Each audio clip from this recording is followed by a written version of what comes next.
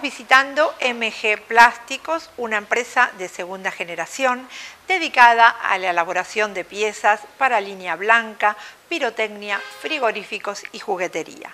Vamos a hablar con el señor Sebastián Vázquez, quien nos va a hablar del presente y futuro de la empresa. Hola Sebastián, buenas noches, ¿cómo estás? Hola, mucho gusto. Un gusto estar aquí en MG Plásticos. Hicimos ya algunas entrevistas con tu padre, con Gustavo. Así es. Y hoy estamos con vos, que sos la segunda generación y hablando del presente y un poquito del futuro con todos los proyectos que tienen como empresa. Tal cual. Fabrican eh, diferentes piezas para distintos rubros de empresa. Así es. Eh, nuestro rubro principal hoy en día es el de la fabricación para piezas de heladera. Tenemos nuestros dos clientes principales que están en Rosario, son Bricket y Bambi. Eh, y asimismo también trabajamos para clientes de acá, como por ejemplo en General Rodríguez tenemos un cliente como Lácar. Y cuando hablamos de, piezas, ¿hablamos de todas las piezas que lleva, por ejemplo, una ladera? No, nosotros nos enfocamos más que nada para lo que son las hueveras, o sea, trabajamos lo que son parte de las hueveras, caja de luz y todo lo que sería la parte de adentro, de serían los cubrecables, parte de, la ladera que cubren los cables y es toda materia prima de plástico, ¿no es cierto? Así es. Asimismo también nosotros trabajamos, o sea, si bien es todo un plástico, nosotros trabajamos con distintos tipos de plástico. Como puede ser el polietileno de alta densidad, baja densidad, polipropileno, cristal. Lo que cambia... depende del, depende que hacer, del, producto. porque en qué va a variar. En la densidad del producto, en cuanto sea la flexibilidad, qué corresponda para qué y asimismo de ahí vamos variando qué se usa, qué material. Eh, Sebastián, de repente viene determinada empresa y les pide un producto que no tienen determinado y ustedes sí se adaptan. Depende, porque nosotros al trabajar con inyectoras tenemos que trabajar con matrices. Las matrices serían el molde que inyectan la pieza o el producto que ellos quieran. Si nosotros tenemos el producto que ellos quieren y, y ¿cómo se llama? Sería como que lo necesitan, nosotros si los inyectamos no hay problema. Ahora, ellos si no pueden... Y, tienen que tener la matriz. Tal cual, tendremos que tener nosotros la matriz. Si no, a su vez, ellos pueden traer su matriz y nosotros le inyectamos el producto como lo que sería el fasón. Y hay un proyecto que es dedicarse también a todo lo que es eh, la parte frigorífica, Sebastián. Tal cual, es esos ganchos que yo te acaba de decir, que nos estamos tratando de desembocar hoy en día y estamos más que nada ofreciéndolo. Hoy es como un plan a futuro que tenemos. Sí, Es un proyecto, pero que ya está en marcha. Ya está, ya está en marcha, tal cual. Necesitamos más que nada enfocarnos, dar la muestra y mostrarnos a, los demás frigoríficos lo, que estamos brindando. Esto se cambiaría por el gancho de, hierro, ¿no? Tal cual, se cambiaría. Se, cambiaría por un tema, primero, de, costos. Segundo, por un tema del gancho de hierro al al engancharlo en lugares se va rayando, se va, se va oxidando. En cambio el plástico es un poco más descartable, por así decirlo, pero a un bajo menor costo. O sea, la pieza... y, es un producto más noble cuando hablamos sobre todo del, rubro alimentación. Tal cual, es un producto más noble. lo bueno de, estos, de estas piezas es que se pueden volver a reciclar. O sea, nosotros tenemos acá, por ejemplo, un molino donde los productos o la colada, que es el sobrante de la pieza, se vuelve a moler y si el producto que nos piden es necesario, se vuelve a reutilizar. Si no, se usa material virgen. Claro, porque debe haber mucho desecho de los que le queda a ustedes que les sobra, ¿no? Tal cual, tal cual. Es el material de sobra que nosotros volvemos a reutilizar. Esto es lo que tiene de bueno el plástico, ¿no? Que en este sentido uno puede volver a, utilizarlo. A utilizarlo, tal cual. Igual con nuestros principales clientes trabajamos con material virgen. Solamente cuando el cliente sabe que nosotros vamos a usar material reutilizado es cuando lo usamos.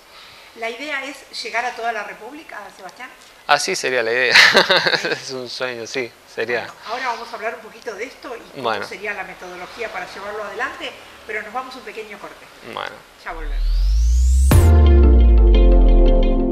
respecto a, la página y al blog están en plena construcción, ¿no? Para que más clientes puedan llegar a conocerlos. Así es, nosotros nos estamos adaptando más que nada, porque esta fábrica viene ya de, desde un desemboque, una mirada más antigua y hoy en día la estamos tratando de adaptar a lo que son las nuevas redes, tanto en Instagram, Facebook o los blogs en sí, para darnos a conocer con otras empresas. Claro, exactamente. Eh, y esto les va a dar una llegada no solamente a nivel nacional, sino la posibilidad de poder exportar en algún momento. Así es, esperemos que sea así. Sí, claro que sí.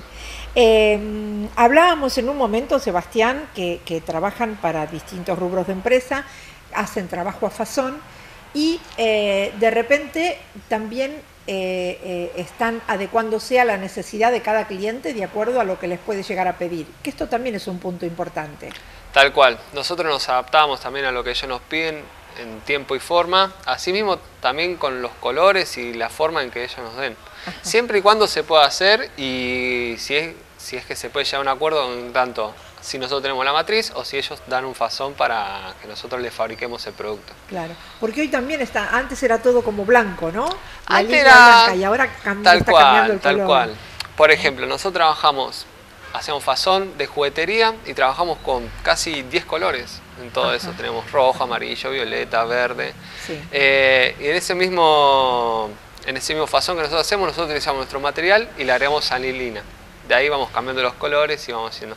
Pero ya desde antes se viene usando, ya más o menos en los 90 se viene implementando. Que el cliente también puede venir, elegir con ustedes cuál es la tonalidad tal que cual, quiere. Tal cual, tal cual. Mismo estos ganchos que yo te decía se pueden, se pueden poner en cualquier tono que ellos que se quiera. esto también es llamativo, ¿no? claro, o sea, sería raro entrar a una carnicería con un color de gancho rojo, pero se puede. Claro, exactamente. Bueno, podrían dar ustedes el puntapié inicial de esta innovación. Así es, tal cual.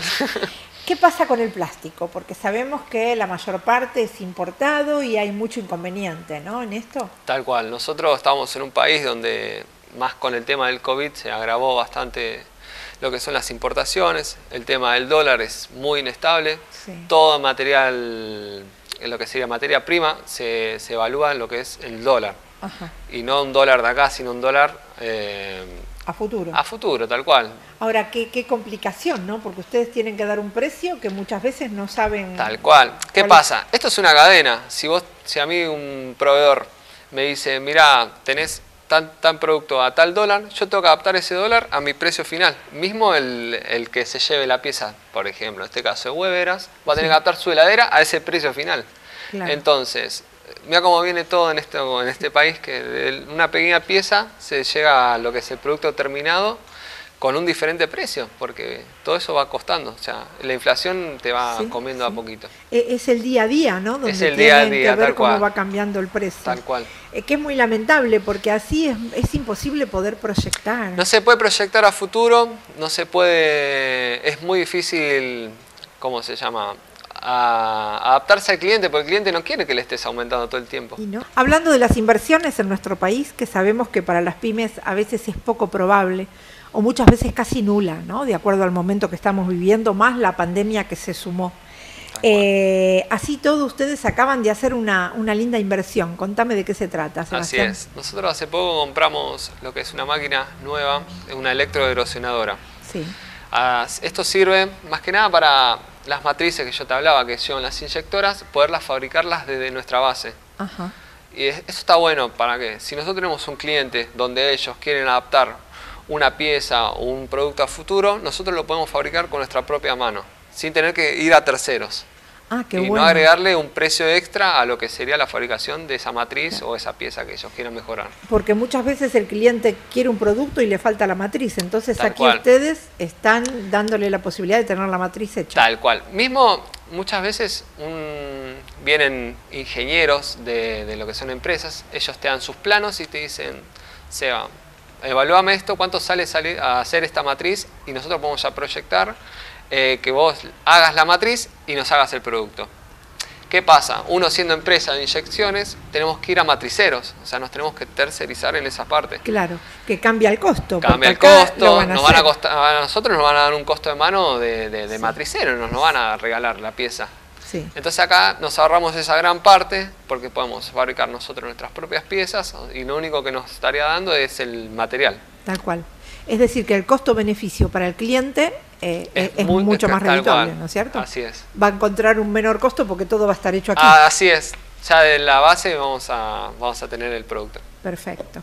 Muy bien. Estuvimos en MG Plásticos, Sebastián Vázquez, segunda generación de esta empresa, hecha a nivel de, lo que es el esfuerzo, ¿no es cierto? La vocación y, la atención al cliente, que es lo que ellos justamente buscan en una pyme como, como esta, de tantos años de presencia.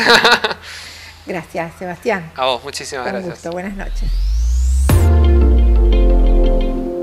MG Plásticos. Encontranos en Intendente Pérez Quintana, 4157 y Ituzaingó.